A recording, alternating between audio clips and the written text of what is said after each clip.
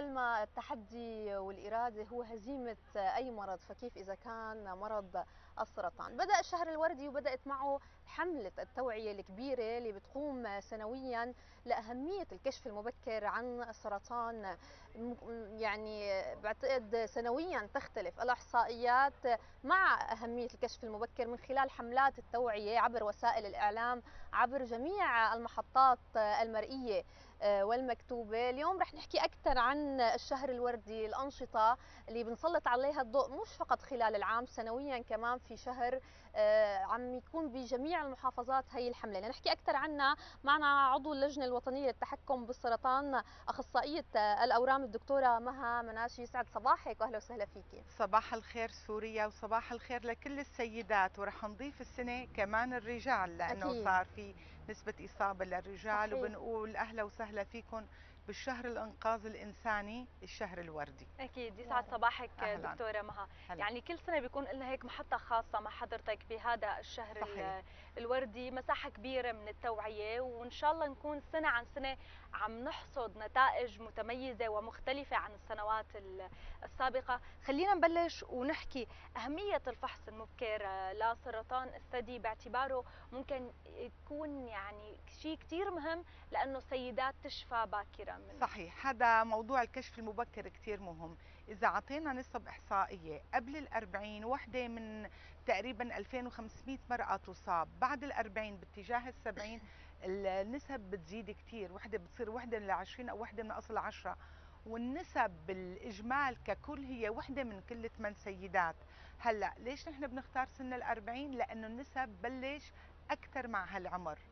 آه بدنا نقوله إنه الكشف المبكر معرفة الآفة وهي صغيرة هي أكيد إنقاذ وشفاء. هذا مو حكي. وشهر التوعية هو لنوصل هالرسالة كل سنة للسيدات. لا تخافوا الكشف المبكر الحقيقة هو بداية حياة جديدة وشفاء. لما يكون عندها الثقة والإيمان بتنقلها السيدة لعائلتها وكل معارفها. وأنا برأيي مع الوقت مع اللجنة الوطنية للتحكم بالسرطان اللي تعنى بالسرطان من الألف إلى الباء من الكشف المبكر للوقاية لإنقاص معدلات الوفيات والإصابات مع الحملات التوعية المتكررة يجوز السنة ما قدرنا بسبب الكورونا. بس نحن واثقين إنه إلى الأمام رح ناخذ آه، يعني سيدات أكبر. هذيك السنة أخذنا 38 ألف سيدة. يعني رقم كبير وبدي أقول إنه الأرياف شاركت برقم كثير مهم من سيدات هذا الأرياف. هذا اللي كنا عم نحكيه تحت الهواء دكتورة. قديش مهم آه، حملات التوعية؟ يعني قديش مهم اليوم عبر وسائل الإعلام عم نحاول نركز بشكل كثير كبير عبر جميع المحطات فينا نقول إن كان مكتوبة أو مرئية أو عبر الإذاعات لا أهمية الوعي بهيدا المرض والكشف المبكر. قلنا لي هي السنة ما في إحصائيات بسبب الظروف الصحية بس إذا بدنا نرجع بما, بما إنه حضرتك عضو باللجنة للسنوات السابقة. قديش اختلف معكم حتى الإصابة؟ يعني لما نقول في إصابات كانت إضافية بس انشفت يعني في تراجع بالأرقام من خلال الكشف المبكر عن السرطان آه، ذكرتي عدة نقاط مع بعضها. بل بدي أقوله أنه الكشف المبكر يعني هي السيدة بتجي ما عندها عرض عشوائية. بتختلف من السيدة اللي حاسة بكتلة أو تبدل. تماما. فالكشف المبكر هو موجه للسيدات والرجال اللي بالأصل ما بيعرفوا آه، أي عرض عندهم. هلأ مع الحملة ال 2019 اللي صارت رقم كبير من السيدات راجعنا. ومثل ما قلنا من سيدات الأرياف اللي كان بالأصل نحن نقول عندهم نسبة الوعي أقل. هلأ كشفنا آه تقريبا 700 حالة كانت مشتبهة. الحالات الأقل هن اللي كان فيهم إصابة. م. نسبنا بسوريا هي مثل النسب العالمية. ما اعلى من النسب العالمية. بس كشفنا إصابات كثير بحجم صغير نص سنتي لسنتي هدول بالطب آه، نسب الشفاء فيهم ما بدي أقول 100% بتقولوا الأطباء عم يزاودوا بس الحقيقة نسبة الشفاء فيهم فوق ال 95% فتخيلي أنا سميته فعلا شهر الأنقاذ لأن كم سيدة تم إنقاذها؟ صحيح. وأنا برأيي مع الوقت كل ما زادوا عدد السيدات وبنعمل إحصاء رح نكون أكثر ثقة آه، أكثر إيمان وأكثر تحدي لما تيجي هالسيدات بتقول نحن من حملات الكشف المبكر طبنا. يعني هذا بيعزز اهداف الحملة على مستوى سوريا ومستوى العالم. الحقيقة الكشف المبكر لما بنقول شفاء يعني شفاء وبرد بقول الكشف المبكر هو للسيدات اللي ما عندهم عرض. يعني نحن كشفنا لسه قبل ما بتحس يعني بتكون الكتلة كثير بشكل دوري من خلال كثير طبيعي. يعني كأنك عم تشيلي وحمة وخلصنا. فهذا الهدف النبيل. بنحب هالفكرة توصل لكل السيدات ويتشجعوا بكل ثقة وإيمان وما يقولوا ها هلأ كشفوا لنا الأطباء مشكلة إيه، ما بدي يروح على الدكتور بصير بقى بده ياخذ خزعات وبد وبده يصير اخذ معالجات. هالتفكير السلبي هو تفكير غلط لأنه حقيقة الآفة كل ما كانت صغيرة كل ما حملت معها شفاء وحياة وعائلة وأم سالمة فوق رأس عيلتها موظفة عم تتابع عملها أستاذ الجامعة عم تمارس مهنتها. يعني رد نقول أكيد. شفاء وحياة. أكيد. يعني دكتورة مها كمان بعض المفاهيم الاجتماعية بيكون في عندكم بهذا الشهر آه، ضخ كتير كبير من المعلومات على كل السيدات اللي بيكون بتيجي على المراكز لعندكم لتخضع للكشف المبكر. صحيح. قد عم بتشوفي في اختلاف بال المفاهيم الاجتماعية. قد إيه بلش شوي بعض المفاهيم القديمة اللي كنا نسمع عنها هذاك المرض آه لا ما تروحي لا بكرة ممكن يحكوا صح. على عائلتك من هي القصص لا بخاف.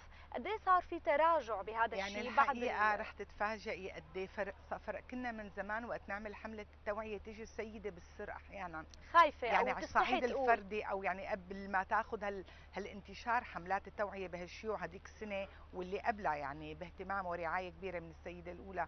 يعني هلأ صرنا نلاقي السيدات يجوا جاي كل وحدة جايبة مع تلة وكوكبة من سيدات الحارة المنطقة الرفقة الجيران. هذا بيعطيكي قد إيه تغير الوعي. وأحيانا بتلاقي صحيح. اختلفت ولما بتلاقي كتلة وطابت أو إنه يلا هي بدايتها في نساء زلغطوا. يعني آه، طريقة التعبير عن الفرح وحب نشر المعرفة أكيد كثير فرق. اختلف اختلفت السيدة من سيدة مخباية لسيدة تتحدى واضحة وحابة طيب يعني عرفتي علي شلون؟ فأكيد عم نلاقي فروق وأكيد حملات التوعية لها دور كبير بهالموضوع. وأكيد الكشف المبكر آه، عن سرطان. آه، الثدي خلينا نحكي يمكن بكتب لها للسيدة حياة جديدة. فكتابة حياة جديدة هي بإيد المرأة من خلال التوجه بشكل دوري للكشف والوقاية من هيدا المرض. خلينا نحكي عن المراكز المعنية لأنه سنويا عم نشوف في توسع بدائرة المراكز عم تحاول تشمل جميع المناطق في المحافظات في الأرياف. سابقا ما عم نشوف هيدا العدد عم نشوف بشكل توسع دائم.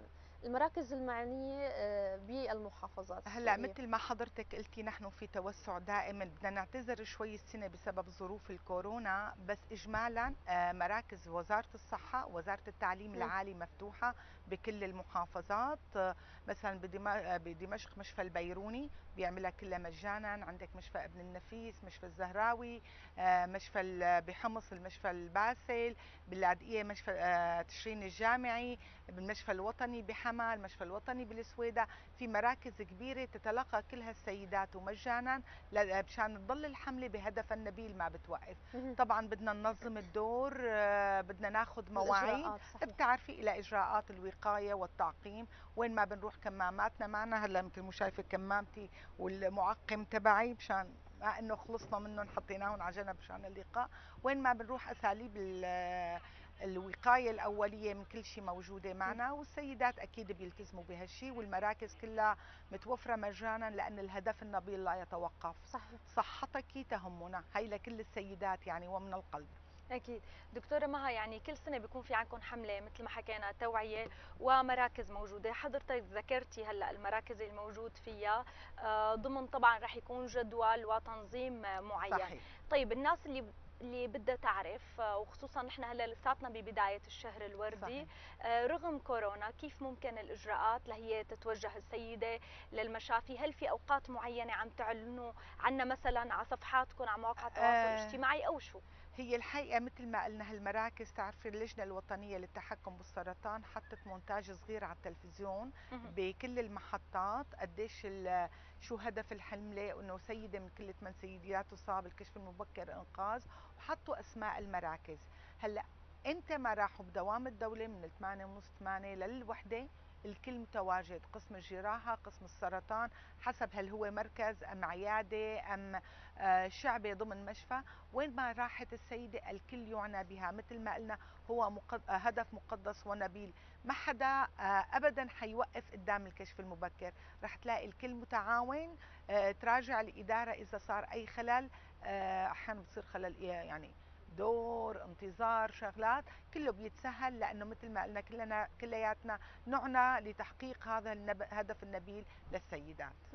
يمكن في كثير من الحالات بيكون في عندهم حالات بالعيلة بخافوا يتوجهوا للمراكز ويعملوا كشف مبكر. قديش مهم في حالات ضمن العائلة توجه لو كان بعمر صغير يعني نحن ذكرنا بالأربعين إذا كان في حالة للأم أو لحدا من الأقرباء يجب التوجه لو كان بعمر الصغير أصغر سنا صحيح لفتي انتباه لموضوع كثير مهم م. في فرق بين القصة العائلية والقصة الوراثية صحيح. في فرق اثنين آه منيح يعني القصة الوراثية المثبتة هي 10% تقريبا م. لأن بيكون فيها طفرة الجيني فنحن لما بنلاقي بالعيلة كثير إصابات العمات الخالات البنات هدول بنقول عنهم قصة عائلية بس لنسبة انها وراثية لازم نعمل هي الطفرة.